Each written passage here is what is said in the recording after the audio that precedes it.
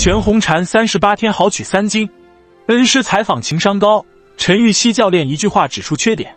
大家好，这里是正说体育。说起今年最最惹人注目的运动员，那肯定就是跳水小将全红婵了。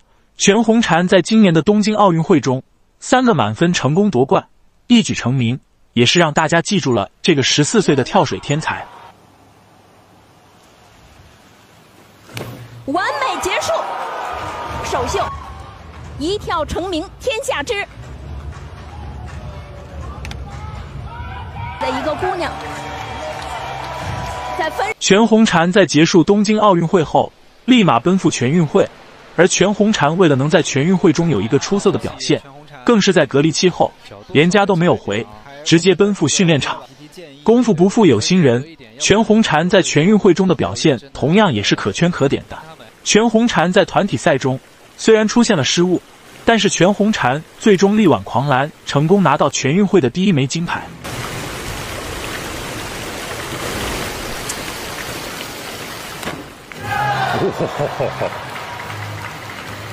当然，就像一片树叶掉进了水里面，太轻巧了。十分九点五，九点五，十分九点五，九点五，十得分二分。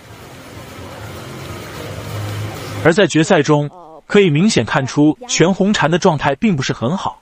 全红婵在前三跳中一直处于落后状态，就在所有人都觉得全红婵拿不了冠军的时候，全红婵在第四跳中成功逆转，连赢二十分，最终拿到了决赛的胜利，再次卫冕冠军。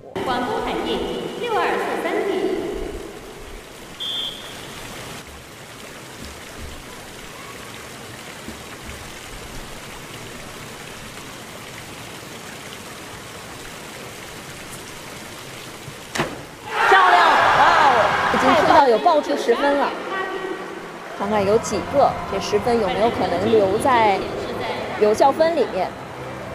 有效分是三个中间分，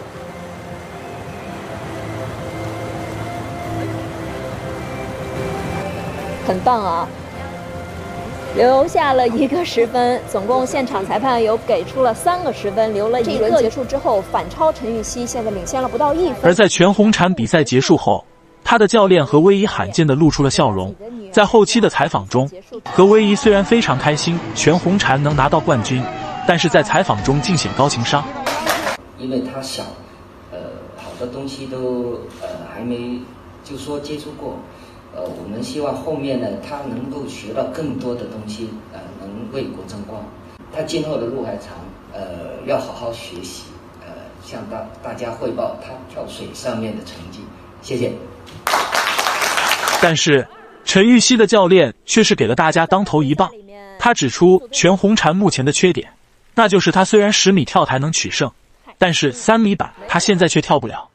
首先是因为三米板非常容易发生失误，一旦失误就要面临拿零分。而全红婵如今才十四岁，想要挑战三米板实在太早了。第二个原因就是三米板具有弹性，运动员必须达到一定的体重才能控制。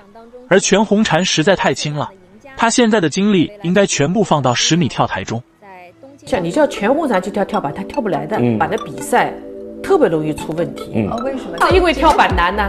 走板有很对走板，他一走板走不好就飞出去了。对，到全红婵去跳跳板，他跳不来的。嗯，硬硬的。呃，他他不会跳，压不住对吗？对，他没有，他没有这个力度，没有这个力量去压这个板。